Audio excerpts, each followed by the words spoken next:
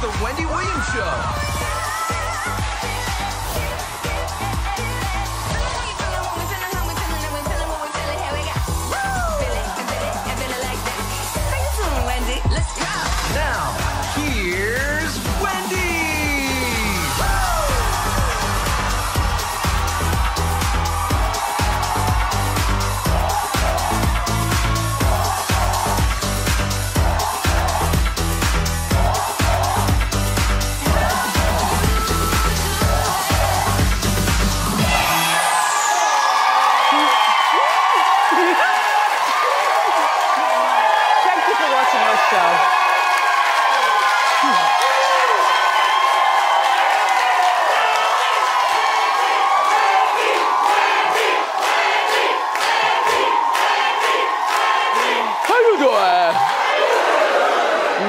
Come on.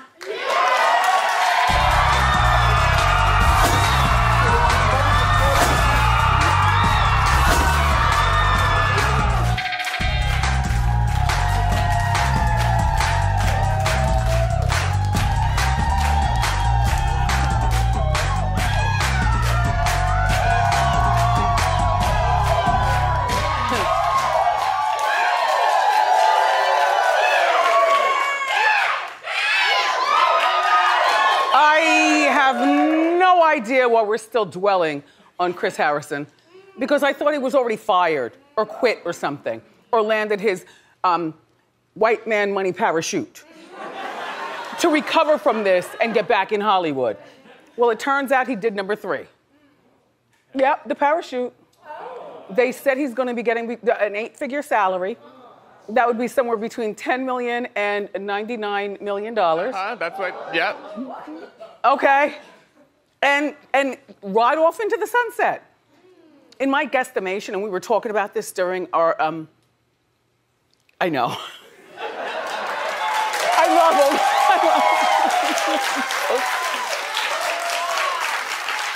So ridiculous. I like him though. There's a lot of stretch and stuff, and Will made the ring where it fits over the gloves and junk, and nothing like a snake Bulgari watch to really just, you know, yeah, yeah, because it fits over anything.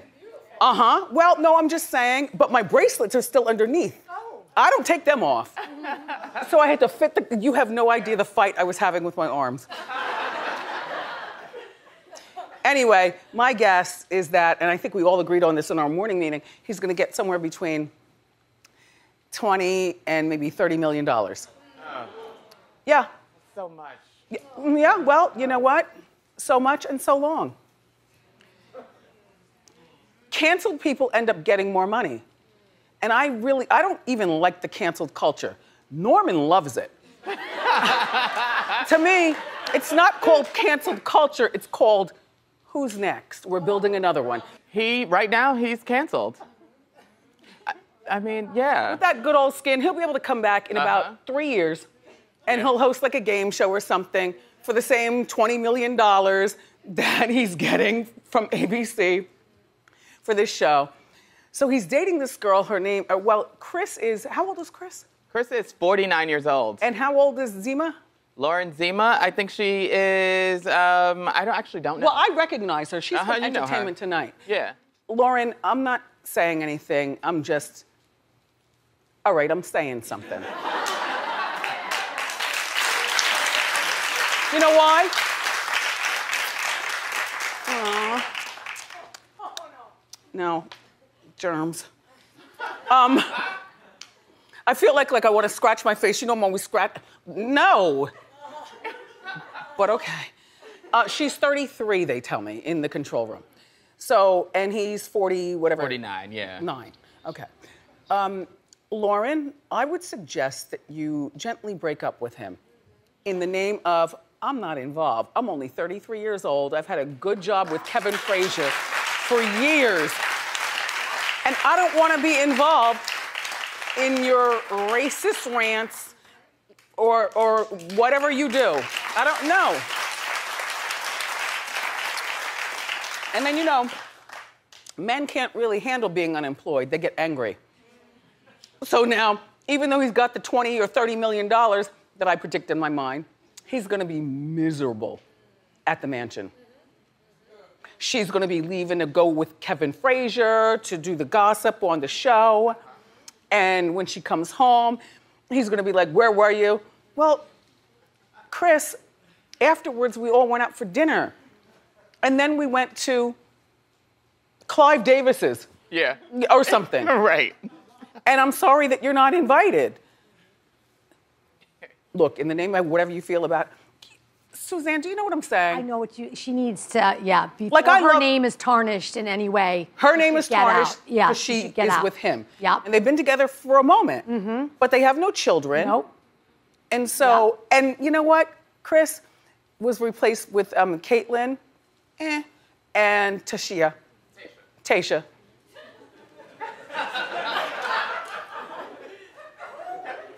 You can't be perfect in every way.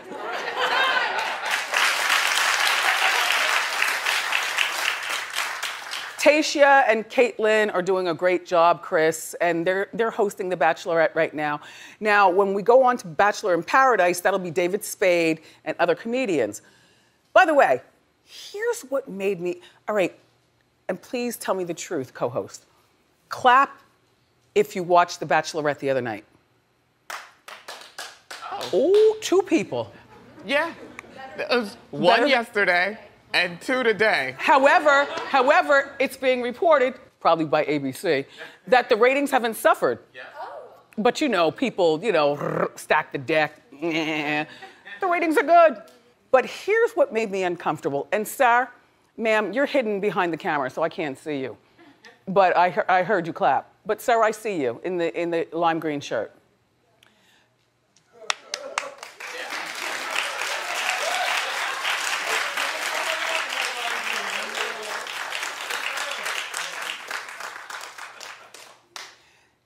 Do you remember when these two girls were um, waiting with uh, Katie outside of the cars coming up? One of the girls said, "Do your best," and patted her on the butt.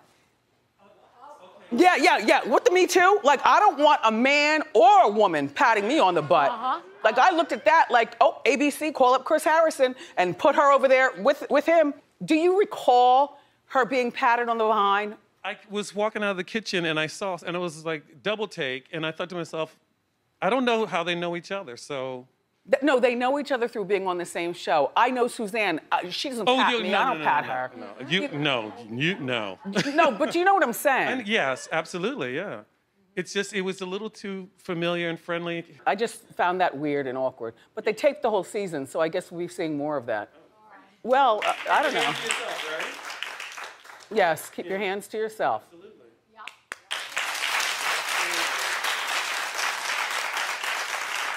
And never leave fingerprints. Ah, yes, yes. yes.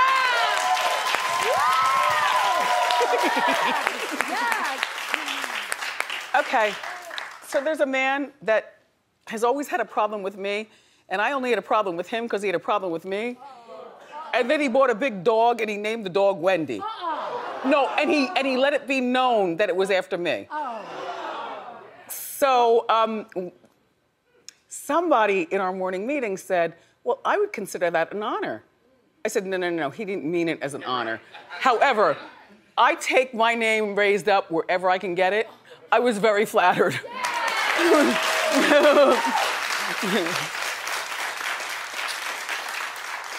Katt likes dogs. There was a big dog with long hair, and he called the dog Wendy. called the dog Wendy Williams. That.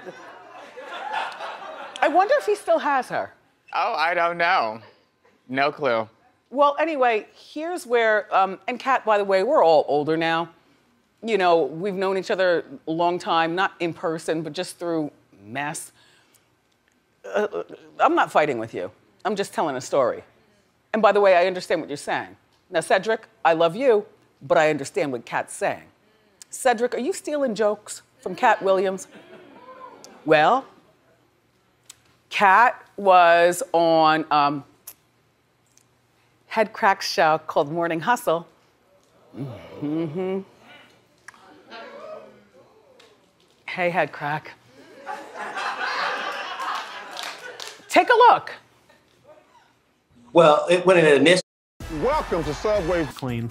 I spray every chance I get. Starts working instantly to freshen any room. Febreze Air.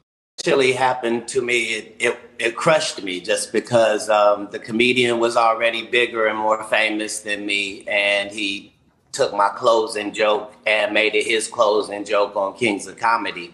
To see my joke being there and not me um, was about as disrespectful as it gets in our craft. And um, I really took it really personally with Cedric the Entertainer at that time. I understand. The thing about um, Cedric is Cedric knows how to blend in and go along and still hold up his manhood and his, you know, Kings of Comedy. Isn't he on CBS? Yeah, he's At- on the neighborhood at, at, eight o'clock. every Monday night. If I were Katt, I'd be mad too. I'd be mad too.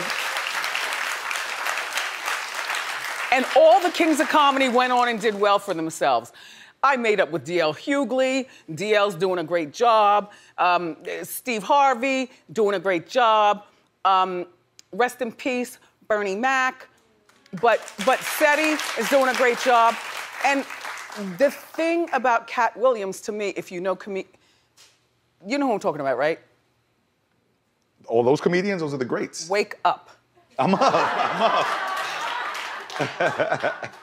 Katt Williams is not daytime friendly. He's not TV friendly. Like, he's not that guy. He's the guy that you go to see after midnight when you're full. Okay? And by the way, there might be three fights breaking out in the audience while he's still telling jokes. Oh. He's definitely for, for um, late night comedy. I agree with that. Well, he was just never able to blend his thing over. You know, he presses out his hair and he's got the tattoos and. I didn't say this, Katt, because you know I'm tall. That's where you get your jokes, I guess, from. But um, I'm not 4'11.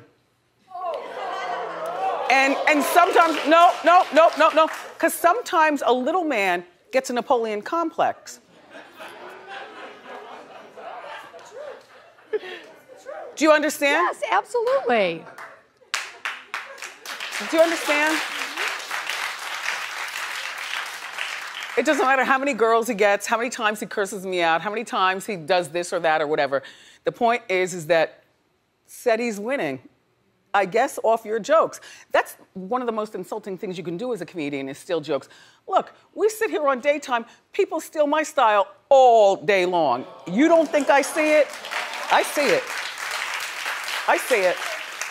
Yeah. Suzanne, you know. I know. Oh, I know. I see it. We talk about it. We know. We talk about it behind the scenes, though. We're not on social media. yeah, exactly. Naming names. Yeah, exactly. Because we can name names. Oh, we can. All of them. Lots of them. Uh huh. Uh-huh.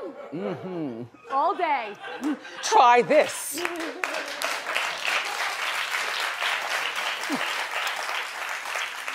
Anyway, Katt, you know what? Can we do an olive branch? No, it's time. Like he's still young enough to be funny, and he, and he could play like somebody's dad on a sitcom or something, or, or, or even not that, but just, I would like to have a sit down. Yeah. Yeah. Nice. Yeah. And Katt, I mean that in the best way. Is Wendy Williams still alive? Anyway, Katt, just let's make up, even though I have no idea. What are we fighting about? I have no idea. But you know who Wendy Williams is. I, I have heard that before. And it was insulting. Yeah, very insulting. Right. But you know, you have to make lemons into lemonade around here. right. You can't stay sad for a long time.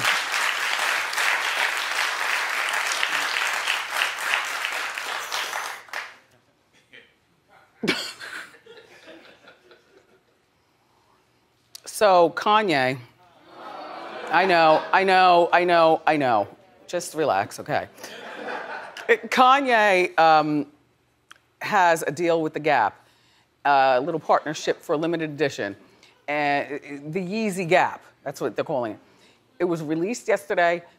Excuse me, it's sold out. It sold out so hard, even Willie couldn't get it. It's okay though, but I have a I have a blue ivy coat this color. Like how many times can you wear this color? Or at least here in New York. Like you don't want to stand out that much in the crowd. Right. bright blue, bright blue puffer.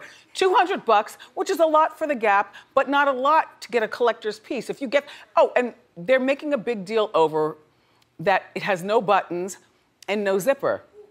Well, that's called Norma Kamali copycat. Oh, okay? That's called the Norma Kamali puffer coat, legendary for decades. There's no buttons, no zipper. You wrap it like this, and all girls love it.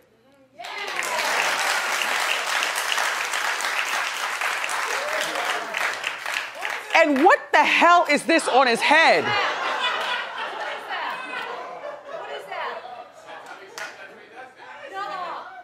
I'm not that comfortable with the jacket though. No, no. You gotta be a particular type of guy to wear a jacket like that. Look, it's short. He's got the weirdo mask on. Look, he showed the coat off last week when it's 90 degrees. But you know what? If we were actually able to get the coat, I would wear it in 90 degrees. I just roll my panty shorts even tighter.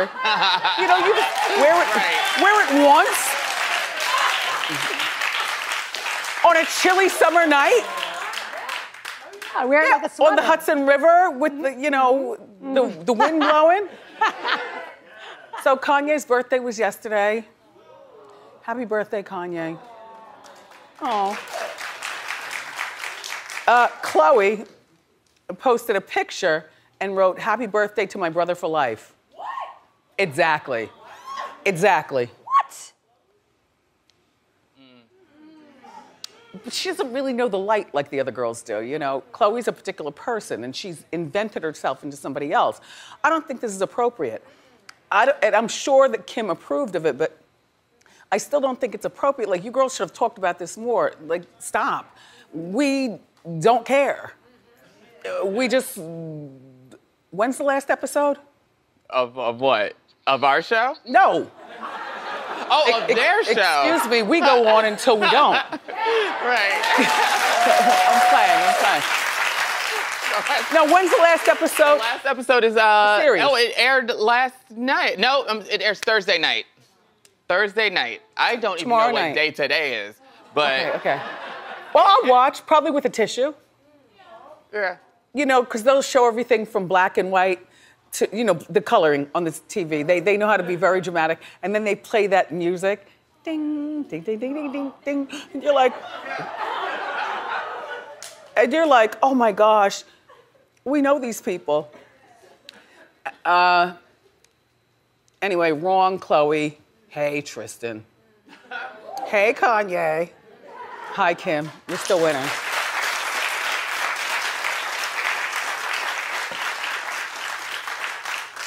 Unanimously, and I mean, other than me, unanimously, the entire Bureau cannot stand stiletto Crocs.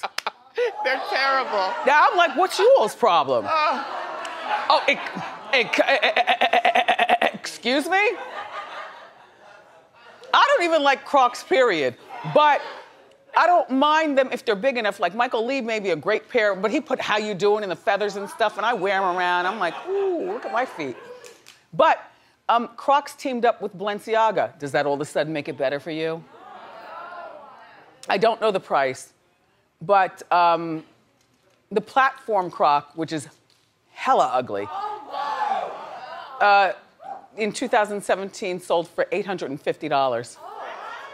Now, see, this one I wouldn't wear. I'm not a platform girl. I don't need all that height. But I just figure, like these Healy Crocs, like I would, t- I would take the black, right? And get them in like in a size 12. You know, because Crocs are comfortable. I wouldn't wear, I wouldn't wear them coming out the double door. Yes, I could do that. No, I'm saying those don't look comfortable. You're walking on like what looks like a nail.